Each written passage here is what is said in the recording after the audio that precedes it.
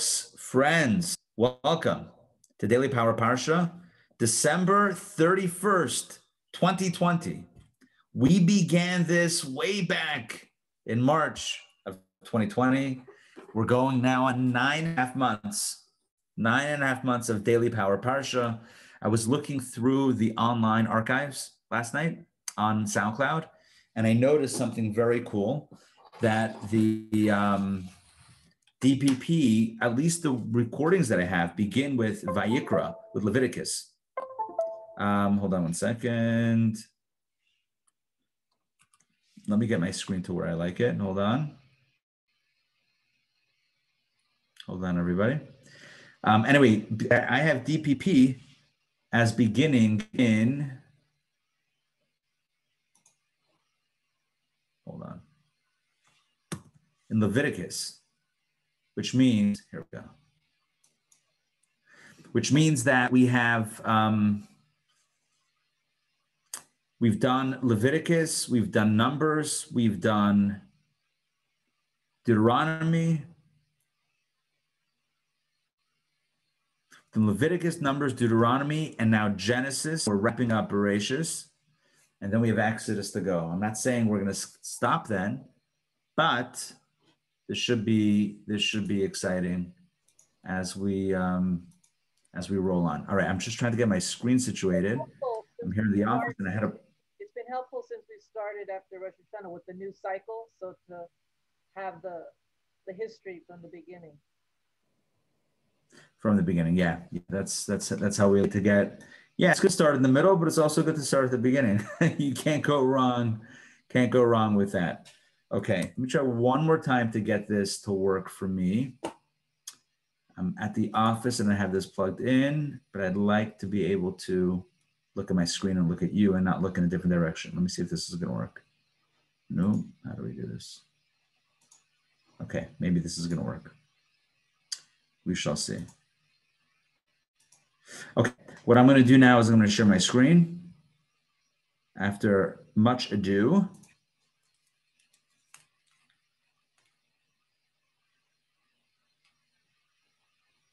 Okay, so this power parsha Torah portion is Vayechi, and I'm going to share my screen with you so that we can all be on the same page. Let's see, share screen.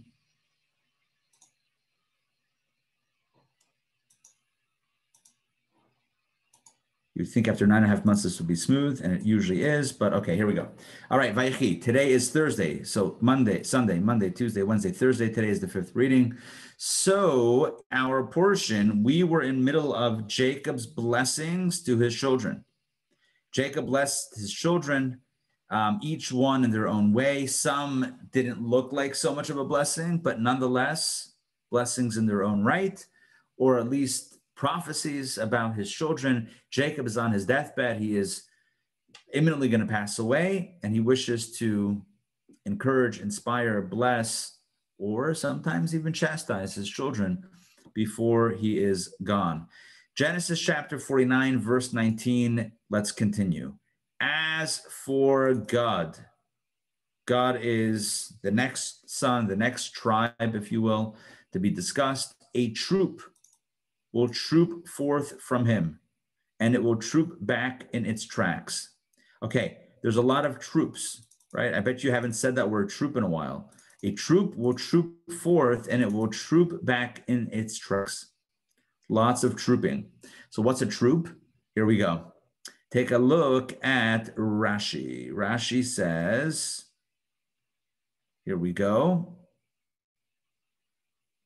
Um, let's look at the end of this really long Rashi. A lot of this Rashi is involved in the in the grammar, in the Hebrew grammar, but let's pick it up at the end that I just highlighted because that gets to the concept of what it's talking about. So this phrase, troops, troop, troops trooping forth. So troops will troop forth from him. What does that mean? They will cross the Jordan with their brothers to war, every armed man, until the land is conquered. But you know this because we started in we started in the middle and we ended the book of Numbers and Deuteronomy. Remember when two and a half tribes approached Moses and said, Hey, we want to stay here. on the other side of the Jordan. We don't want to go into Israel because this is good land for cattle. And Moses like, no, you're making the same mistake not wanting to go into Israel. They're like, no, no, no, no. We're, we're not saying not to go in. And we'll fight. We'll, we'll, we'll be soldiers in, in the conquering of the land of Israel. We just want to settle this land because it's got good, great. And I even told you they had a hidden agenda. They wanted, they didn't want to abandon Moses. They wanted to be with Moses because he was going to be buried there. We discussed this before several months ago. Anyway, the point is that Gad is being blessed now, years, hundreds of years earlier, literally 200 years earlier. Gad is being blessed by Jacob as being the as being the tribe of troops because they will be the ones to troop to fight to conquer the land but not even for themselves for their brothers. And then they're going to troop back and resettle or live on the other side of the jordan. And that's what it means it will troop back to his tracks. All his troops of the tribe of, of Gad return in their tracks to the territory that they took on the other side of the Jordan, and no one will be missing from them, which means They'll all go into battle and they'll all return safely in battle. I need to tell you a story that really doesn't have to do with this, but it's a story that comes to mind that I need to share.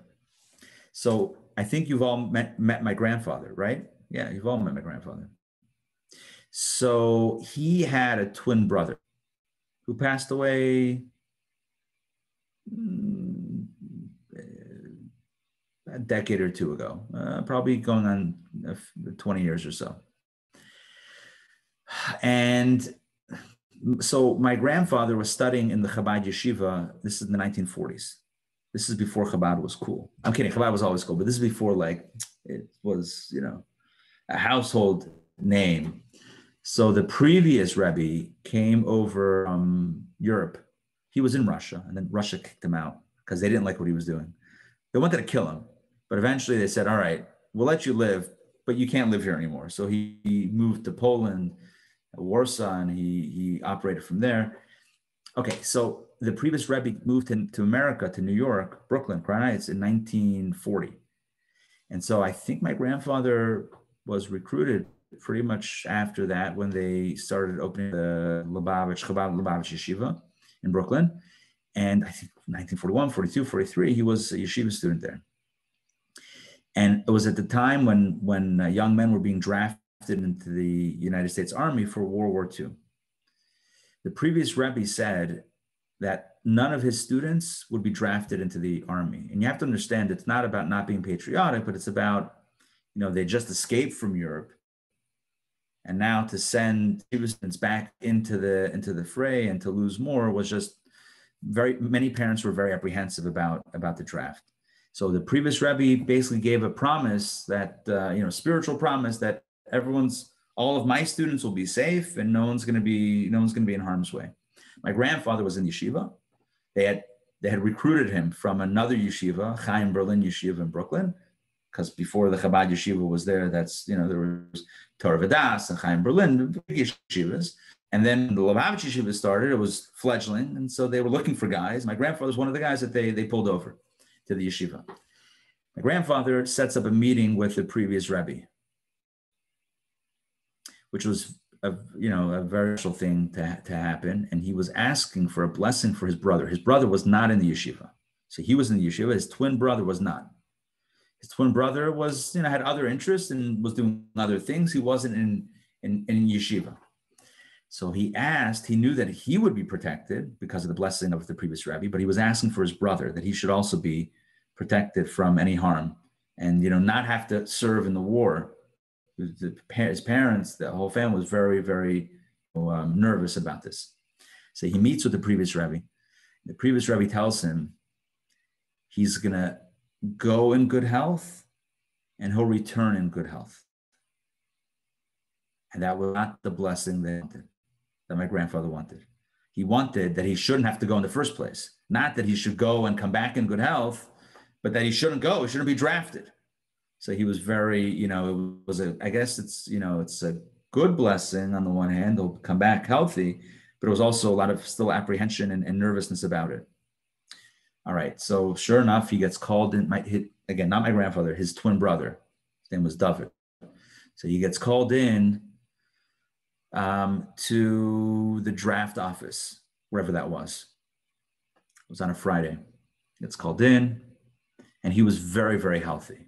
My grandfather's twin brother. He was like, uh, like a he used to lift weights and like a not a professional, but you know, some sort of like bodybuilder. He was like into like health and wellness. No, no problem passing all of the all of the tests and, and whatever to get to get drafted. He was very army fit. Let's put it that way. And again, this is like 941, 42, or 43, one of those years. So he goes to the office and they're checking him out, and there's a big line, and he's waiting and waiting and waiting, and then God is coming, and and he goes home, and I forget the exact details of the story, but at some point he has to come home, and as he walks through the door, he had to, oh he had to walk because it was Friday, it was Shabbat started, and, but he was still there, and he walks back home. They weren't finished with him. He walks back home. By the time he gets home it was cold outside. His face, my grandfather says, his face was swollen like a pumpkin. It almost looked like he had one eye. Something happened. His face was swollen, indistinguished. Like you couldn't tell it was him. It was so like swollen and misshapen. And he opens, he knocks on the door. They open up the door. They freaked out. They didn't know who this was. They were all nervous and scared. Anyway, it was over Shabbat. Face was still, it was still, it, it didn't go down. The swelling didn't go down. It was very unusual, very very you know alarming. The weekend, the weekend over the weekend, same same deal. Monday morning, he has his follow up by the by the draft office, and his face is still swollen. They take one look at him and they say, "There's something wrong with you. We don't want you." Comes back home. My grandfather said he saw this with his own eyes. He stepped into the house. The moment he stepped into the house, his face transformed back to normal. And he said, my grandfather says, as he tells the story, and he's told it many times, he's told it here in Atlanta also. Maybe some of you have heard him tell it, but it's, it's been a few years since he's told.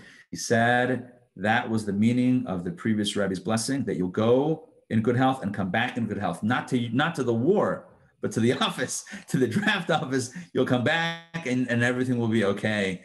And he didn't serve and everything was fine. That's the story. But I was reminded of the story as you know, as uh, Gad is blessed with going out and coming back in good health. Hey, Mark, um, I was remar- reminded of the story of my uh, my my great uncle, my grandfather's twin brother. Anyway, just thought I'd share that with you. Yeah, Donna, go ahead. That made me think what I'd like to share. So my father was a young man in New York City at the time, and of course his parents didn't want him to go, you know, for selfish reasons to go to the war. But my father said, you know, yes, I have to defend the Jews. So he volunteered and he, wow. had, he was a bombardier in the Air Force stationed in London. And he went up in the B 17 bombers. And for two minutes, he controlled the plane through the bombsight because that was the only thing that mattered that the bombs fell on the target. So he bombed Germany. Wow. Wow. That's amazing. I got the chills. Wow. That's amazing. A hero a hero in the most little sense. Amazing. Thank you for sharing that. So look, thank you. Who would have thought on December 21st, 31st, not 21st, 31st, we're sharing war stories. Who would have thought World War II stories? Anyway, um, all right, good. But it reminded me, Gad, you know, Gad is going to go into the war and help conquer the nation, conquer Israel for all the people and then they're going to come back on their side. But again, just to just to keep the chronological concept here, this is Jacob speaking to Gad hundreds of years before the Exodus, before the journey in the desert, before Moses. This is way back, right? This is a prophecy of what will happen with Gad's descendants, with the tribe of Gad, not the child Gad. He'll be long gone, but the tribe of Gad they're going to be the ones that will be the troops. Hence the Gad Gedud Yigedenu. That's kind of in Hebrew we would call that a plan. Well, it's a plan words in Hebrew. Gad is the name of the of the tribe. Gad Gedud Yigedenu. Gedud Yigedenu means the troops. So Gad Gedud Yigedenu. Hu Yagud Akev. So that's uh, that's the phrase. All right, let me share the screen. Let's get back into the text. Again, we have just massive Rashi's here, which we're not going to cover all of them, but just, you know, here and there. So that's Gad. Oh, I love this one. Asher. right? Let's go to the next one. Asher, verse 20. From Asher will come rich food, and he will yield regal delicacies. I love that. Asher, their portion, Israel, again, this is a prophecy of what would happen centuries later. The portion of land that the tribe of Asher eventually um, settled in, that's where the olives were. That's the olive groves, and it was Shmeina lachmai. Shmeina literally means shamein. It means like fat. It means like oil. It means rich. Ah, that's what it's translated. Rich food. Rich food. It's like, and melech. He will give, yield or give. Actually, yitain means give. He will give the, the royal delicacies. And there's a beautiful insight on this. Not only will Asher in his own portion have the delicacies, but the second half of the verse is he's going to give it to his brothers also. He's going to share his blessings. And that's really the blessing. It's an even it's a blessing to have. It's an even greater blessing to have the opportunity to share it with others. I mean, you and I know how we feel, right? How good it feels to share our blessings with someone else. I'll give you a simple, like silly example. You're at a restaurant and you taste something and it's fantastic. What do you say to the next person? Try right? It's it's it feels it feels good to be able to share. And so Asher's blessing, the blessing that Yaakov, Jacob gives to his son Asher, is that not only should you have the greatest bounty, the greatest delicacies, but you should share, have the opportunity to share them as well with uh, with with your siblings and with others. Let's continue inside 21. Naphtali. I told you that some tribes are likened to animals. Naphtali is a swift gazelle. He is one who utters beautiful words. There you go. Swift gazelle. Um, he was a marathon runner. He was a sprinter. No, let's see. Let's see what Rashi says. Ah, Rashi says it's referring to the valley of Genesar which is uh, the Naphtali's portion of Israel, which ripens its fruits swiftly. So it's not about running fast, it's that the, the land produces, the fruits ripen swiftly, like the gazelle, which runs swiftly. But Naphtali is associated with the deer. Like, have you ever seen, I'm going to stop sharing for a moment. Have you ever seen um, like stained glass windows in a synagogue? You know what I'm talking about? Like the stained glass, and they have like 12 windows with 12 tribes. So you'll you'll always see Naphtali. You always see one with a deer. Well, that's uh, that's for Naphtali. That's for Naphtali's tribe. Okay, back inside. Again, there's a lot of Rashi, but we're not going to do all of it.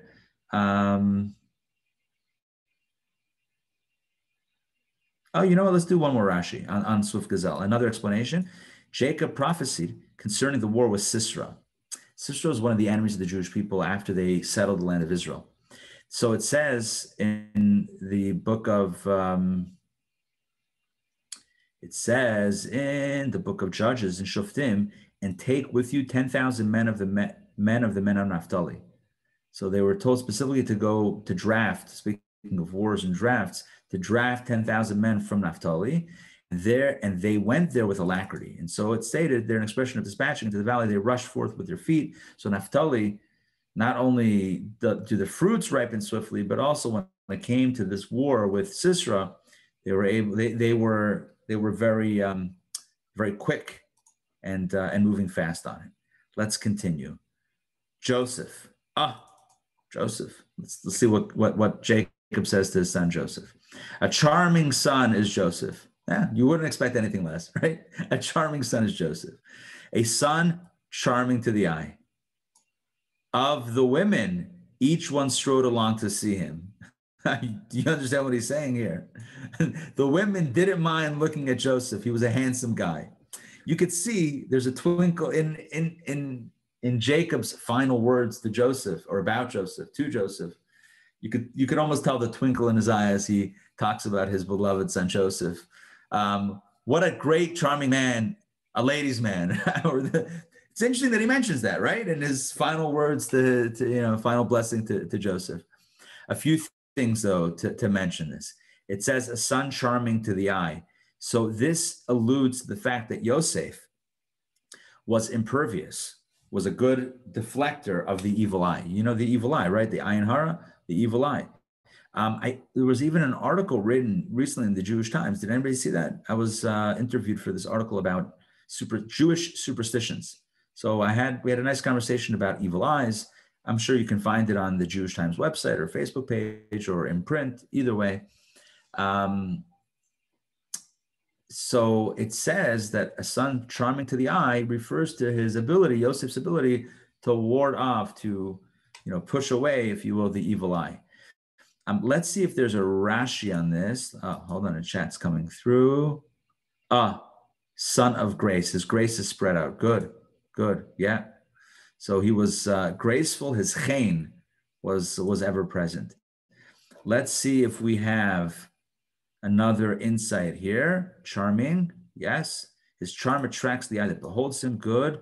But again, I'm telling you a little bit of a, a more mystical explanation about the ayin hara, about the evil eye.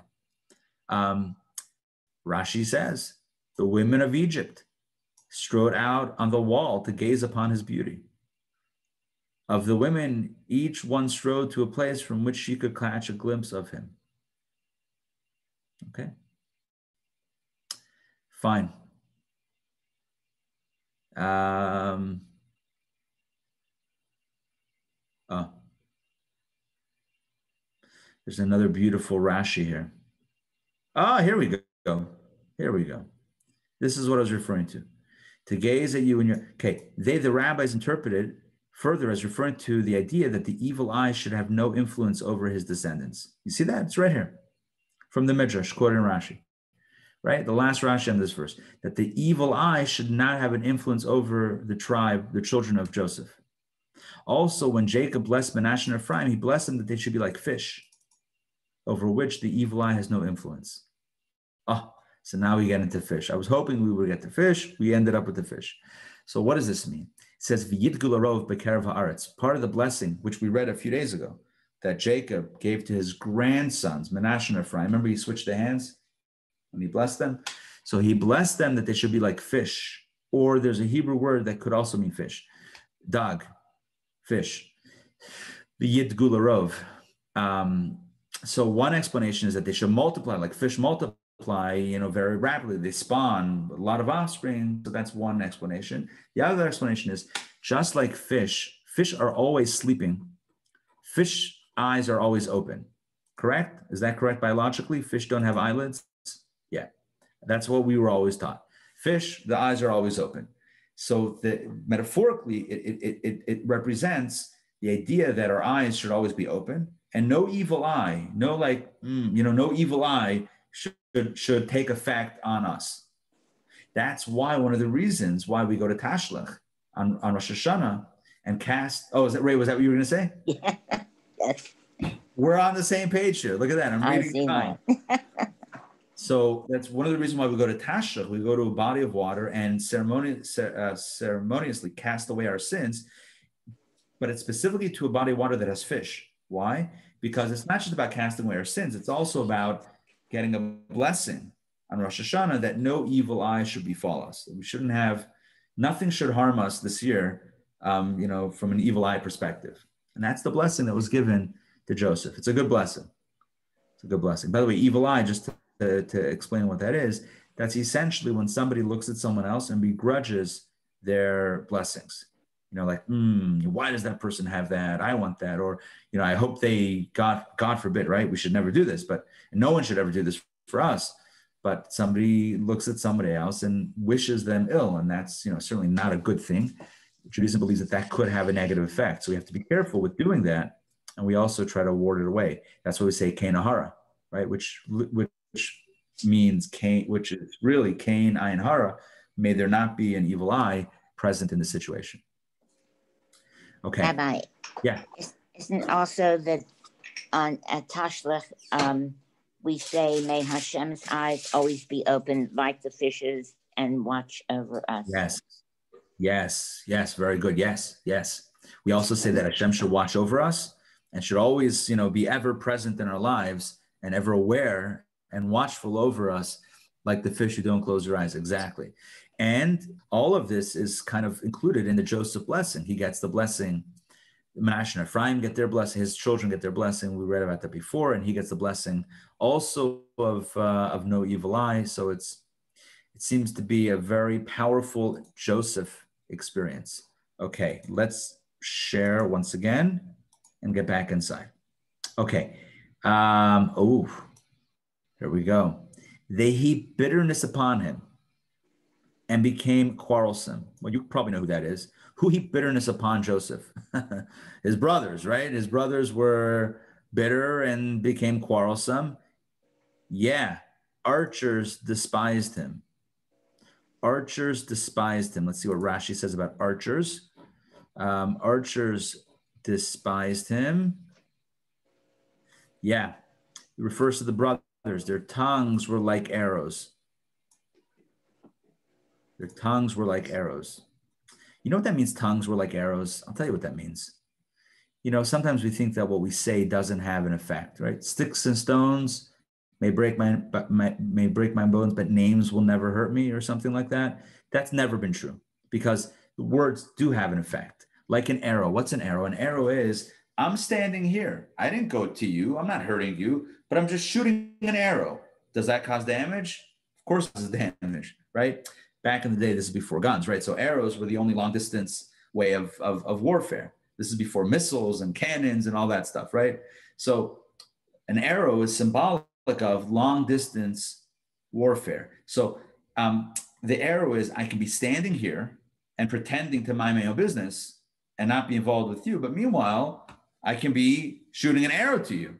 That's the same thing. That's likened to words. Our words are like arrows. We're in one place and we're not physically, you know, touching someone, but our words are being directed and shot over to another to hurt them. And that's not okay. And that's what it means as Jacob is reflecting on Joseph's life. He talks about his charm and how all the women came out to see him. That refers to, by the way, when he was inaugurated as the second in command and he had the parade. All the women were, you know, looking by the wall, by the fence to, to catch a glimpse of this handsome, dashing young Hebrew or maybe they didn't know he was a Hebrew, but this dashing young man, this Safnas Paneach dude.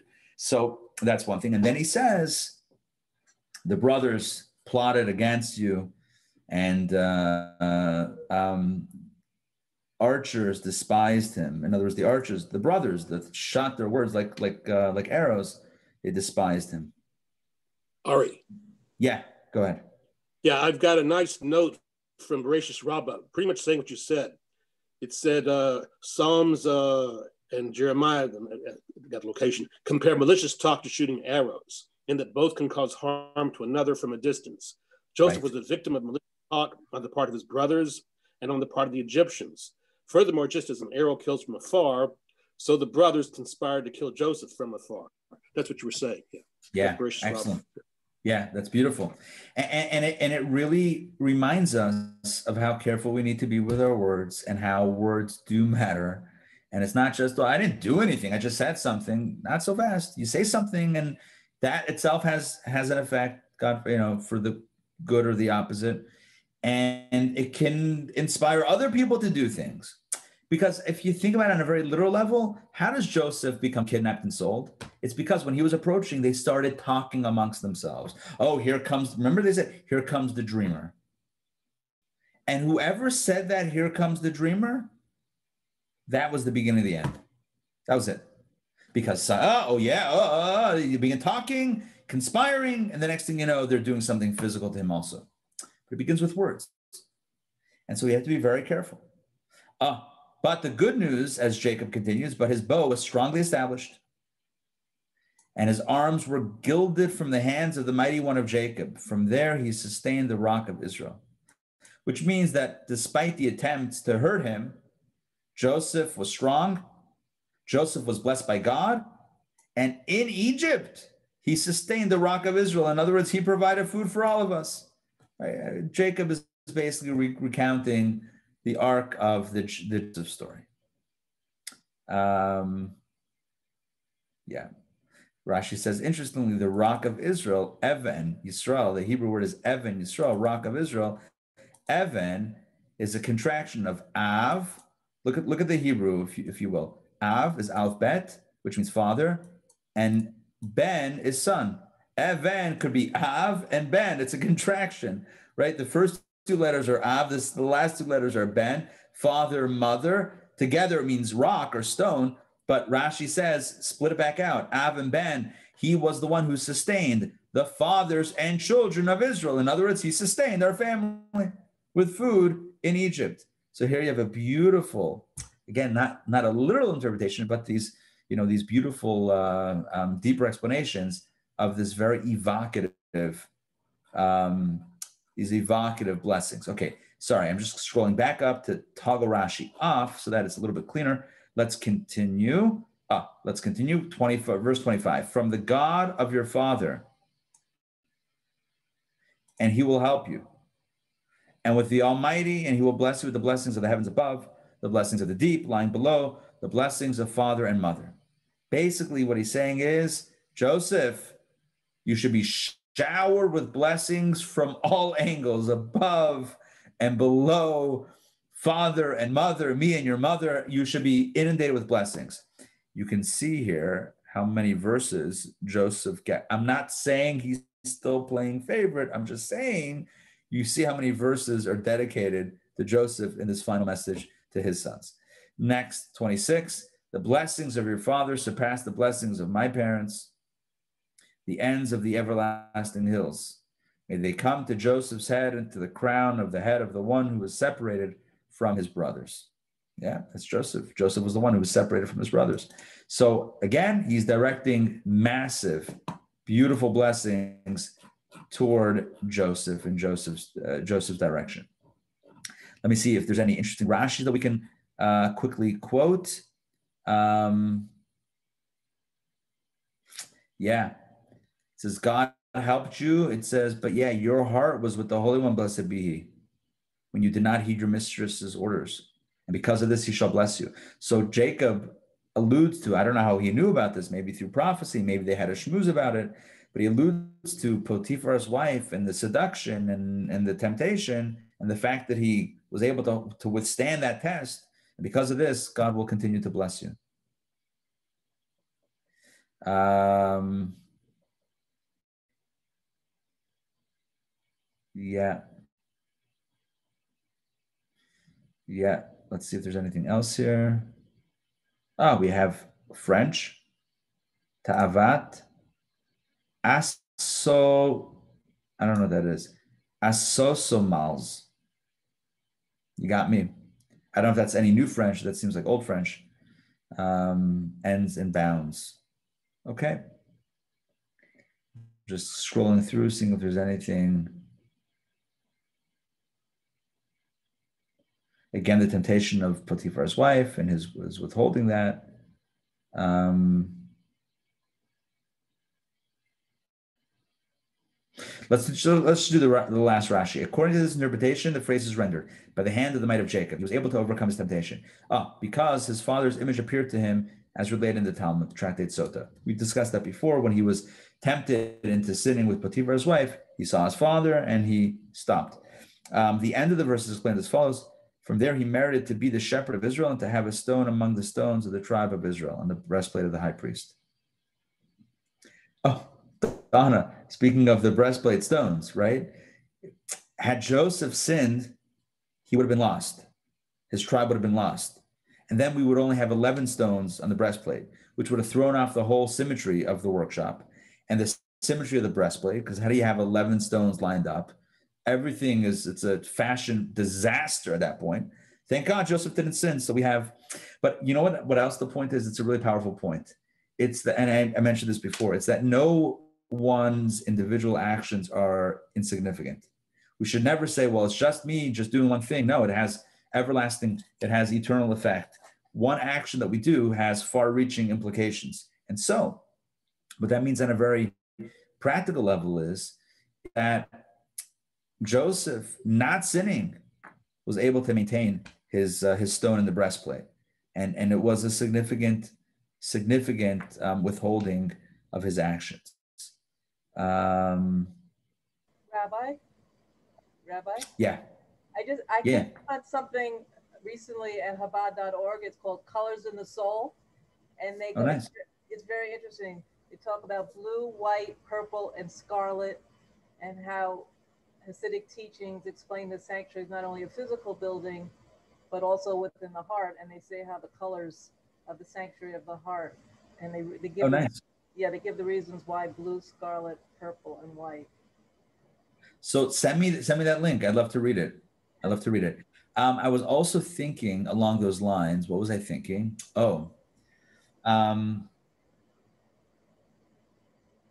whatever. Just to put on the to put on the radar at some point to maybe do a class, maybe on colors, but also maybe on the four elements: Yes. fire, water, earth, and uh, and wind.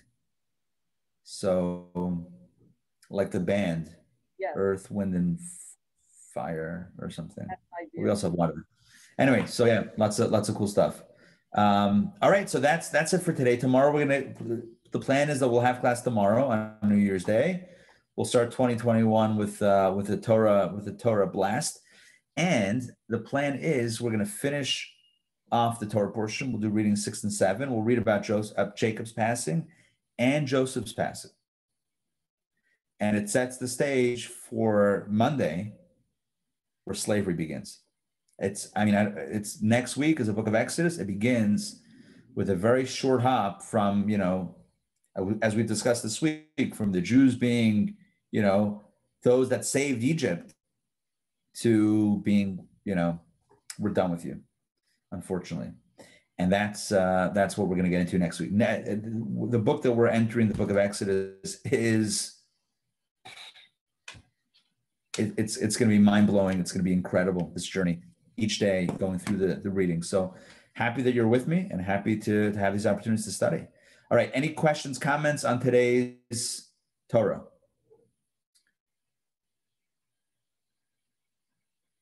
Anybody? Okay. Good. No. I think the, the Chayenu, I never pay attention. I don't know if it's new, but on top of Rashi, they say also Onkelos, which Yes. like It's I've the Aramaic. Yeah, it's the Aramaic translation. Wait, are they translating it or they have it in the original um, Aramaic? Mm, they have it it- in the original under the English and Hebrew text of the Torah, but then they, they give a lot of uh, commentaries. Are that. they commenting on on Onkelos or, or they're just having it there in the original? they they have it in, in the original and then they comment on it. They say Nice. Rashi thinks that and Onkelos says that. That's interesting. That might be new. Yeah. That- yeah. That's very Yes, interesting. Onkelos is is is officially a translation of the Torah into Aramaic from a fellow who converted to Judaism. Very interesting story, Onkelos. He was not born a Jew. He converted, and he authored this this really beautiful um, uh, a translation of Torah. But his translation is not just a translation. There's also commentary in the translation. So, and Rashi quotes Onkelos a lot. Rashi says, Onkelos says this, and I say this, and whatever. And, and there's a lot to learn from it, but it's not studied. I mean, it's rarely studied by most people. So it's kind of cool that they put that into the Chayenu. Very cool. Nice. Sandrine, is that a real cat behind you or not a real cat? Oh, that is a real. Oh Yes. my gosh. That's legit. Same. It's like They look the same. twins. It's a twin. Yeah. It's a French cat. They, they look the same. They're tuxedo cats, always dressed for the occasion. Uh-huh. That is yeah, and he wild. loved to go up there because there's a heat come come, you know, right above. I don't blame him. So What's what's the cat's name? snowy. Mine is Bo. Snowy. Mine is Bo, which means handsome in French. Bo, Nice. He's like Joseph. Bo and Jolie, that's a good pair. Yeah, Jolie. See that? And and the and the cat in Pittsburgh is Cloudy. Cloudy, I don't see. Snowy, That's- I think that's the that's the name. Anyway, what are you gonna do? Torah cats. It's a cat's world. We're just you know in it. Uh, Rabbi, it I need to leave now. Okay, we're going to do the Zoom. All right. Yes. Thank you. All right. We'll see you. the Bye, Ray. Yeah, ha- send happy birthday to Lillian, All right. please. We'll see you Thank you. soon. Bye, Ray. Thank you very Take much. care. Thank you. All right, I'll sign off also. Have a wonderful day. Enjoy the last day of 2020. 2021 should bring lots of blessings. We'll see you all very soon. Take care. Sei Amen. gesund. Be healthy. Thank you. All right. Bye, you Take care, everybody. Bye, Mark. Bye, Donna. Bye, Sandrine. Bye, Ray.